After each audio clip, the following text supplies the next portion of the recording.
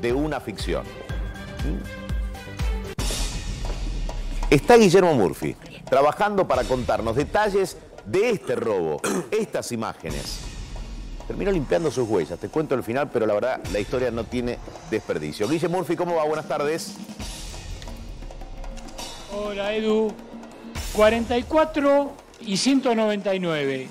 La calle 44 es la vía de, eh, que va de la ciudad de La Plata a la autovía 2, muy transitada a toda hora del día.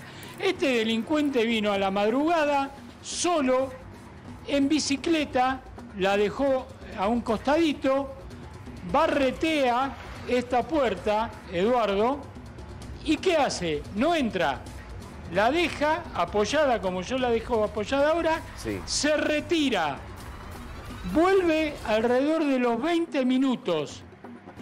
Entonces, ¿qué hace? Ahora sí, ingresa, ya obviamente las cámaras de seguridad lo toman, vos fijate, ¿qué hace? Barretea nuevamente con el mismo método esta puerta, la puerta ya de entrada al negocio. Sí. ¿Sabes lo que hace Edu? La apoya de nuevo, se va, abre esta puerta, agarra la bicicleta, se va por la esquina, se lo ven las cámaras de seguridad, media hora. Mm. A la media hora abre esta puerta, abre esta puerta. Sí. Ya está aquí en el local. Dentro del local. E ingresa detrás del mostrador y roba directamente todo. Repitamos la hora en la que ocurrió esto. Dijo este hombre. Alrededor de tres y media de la mañana. Pero acá está Matías, que es el propietario, que cuando vio todo por las cámaras que tiene aquí, obviamente Eduardo, te imaginás cómo, cómo se puso, porque este ladrón se tomó todo el tiempo del mundo para efectuar este robo. Sí, la verdad que parece un sacado de una película, parece un ladrón de guante blanco. Eh, todos los recaudos, estuvo 45, 50 minutos entre que empezó, abrió las puertas, se fue, se tomó el tiempo de esperar a ver si sonaba la alarma, si, venía alguien. Eh, es sorprendente la tranquilidad con la que trabajó, un hombre que parece ser un hombre grande, que se tomó unos entre 6 y 7 minutos acá adentro revolviendo, buscando minuciosamente con su linternita, a ver qué podía encontrar, revisando entre los papeles. Eh, sí, una cosa realmente sorprendente. Hola Matías, ¿cómo estás? Eduardo Bataglia te saluda. ¿Qué tal, Eduardo? A ver, eh, la verdad que lo describiste, casi que no hace falta más detalle, pero eh, vos hablabas de la frialdad, ¿no? Porque cualquiera sabe que en un local hoy hay cámaras. Bueno, eso no lo inquietó ni tampoco le hizo retroceder. ¿Estuvo cuánto tiempo dentro del local y qué encontró? Digo, ¿qué puede encontrar en una, en una agencia? Digo, porque uno va siendo cuidadoso, ¿no? Con el dinero que se recauda. Sí, eh, el, dentro del local específicamente estuvo alrededor de entre 6 y 7 minutos, mm. que es lo que dura la, requisa que hizo acá adentro, porque la verdad que parece una cosa muy minuciosa. ¿Por dónde estuvo? ¿Me podés mostrar, digo, cuáles son los movimientos que, hace, eh, sí, sí, Matías? A ver, entra por... Él ingresa por las, por las como, como te mostró recién el... Guillermo, sí Guillermo, él ingresa por, por, las dos puertas, viene a las 3.30 de la mañana, 3.35, sí. fuerza una de las puertas, fuerza la segunda, se va con su bicicleta, se toma sus 45 minutos para, para ver que no pase nada. Sí. Evidentemente esto da la señal de que es de la zona, andando en bici, viniendo caminando. Eh, cuando vuelve, él ingresa ya con las dos puertas abiertas, se mete por detrás del mostrador y se pone a revisar el área donde están los, los telequinos, el área donde están los premios. Lo que va a encontrar es papelerío. Sí. Sorprende, por ejemplo, dentro de las cosas que se llevó, se llevó una radio, eh, una radio clásica de cassette, de las de antes, que usamos para escuchar la radio, una pava eléctrica, un mate. Eh, se llevó un, par de anteojos de lectura. Eh, y bueno, la plata que estaba en efectivo de, la caja del cambio, digamos.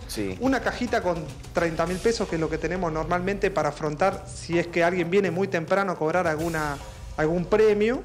Y teníamos arriba del mostrador, había oh, alrededor de 20 mil pesos, 19 mil y monedas de un acierto que ya lo teníamos preparado para pagar a primera hora. Para pagarle a, es un apostador llevar. que ganó. Eh, ahora, eh, digo, cualquiera Correcto. sabe que hay cámaras de seguridad. Las medidas que tienen ya en las agencias de lotería superan las de cualquier comercio, ¿no? Porque en algunas agencias, no sé si es el caso, tienen hasta vidrio eh, blindado o antivandálico, ¿no? Yo tengo, yo tengo doble, doble, doble vidrio blindex Sí. que lo puse fruto de que nosotros estamos acá del año 94, estábamos dos locales más, más hacia allá. Nos mudamos acá para tener más seguridad porque este local no tiene ventanas hacia atrás ni nada.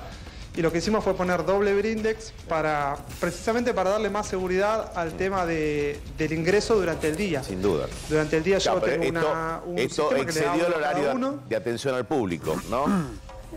Claro, claro. Esto eh, sirvió para paliar un poquito los robos del día a día, el sistema de doble puerta, pero evidentemente este Tengo hombre eh, tiene mucha cancha para abrir las puertas porque se tomó menos de 5 segundos para, para romper las dos Sí. cerraduras. Vos decías que, Eh, lo- con las cámaras se lo logra identificar, que es un hombre aparentemente eh, de edad avanzada.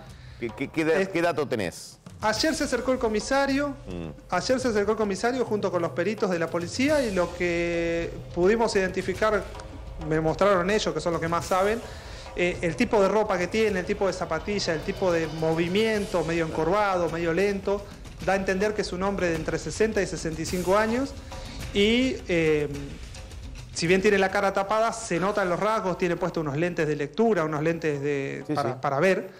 Eh, se nota que es una persona mayor. Eh, lo que sorprende es, primero, cómo conoce tanto de, de cerrajería, digamos, como para abrir tan sencillamente las puertas, y cómo va directamente a los puntos específicos, a la caja, a donde está, a donde está la, en la caja fuerte con el dinero. ¿Y por qué debe haber Cómo- estado alguna vez ahí? Claro. con Debe haber ido a jugar alguna vez a correcto, y sí. los vio. Yo, yo le quería preguntar, Matías. Eso es lo que creemos nosotros. Yo sé que, este, digamos, no, no había nadie, por suerte, viste que hoy uno se conforma con ese tipo de cosas y demás. Pero es un lugar muy, muy especial y particular, Sí, sí, sí. Matías, el trabajo tuyo.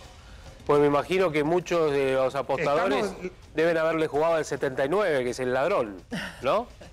Sí, y encima, encima de eso, no solo eso, sino que el 79 salió, salió ¿Viste? ayer eh, No. al mediodía en, en Nación, así que tenemos, tuvimos varios aciertos, inclusive Bueno, el mira, mío, Sí. es que que, también le jugué a ese, Salió el ladrón. Y al 89 que es la rata. Bueno, es, Mirá, para, para recuperar algo del dinero. Eh, abuelo quizás que sirva. que también. Encima salió en la quiniela. Ahí está. Increíble. Matías, bueno, Es lo, lo tomás Sí, sí, eh, sí. tranqui, eh, con un poco de humor, una cuota de humor, eh, no les pasó nada. Ojalá no se repita el Y robo. la- eh, eh, y eso es lo que lamentablemente quiere sí. uno. ¿Mm?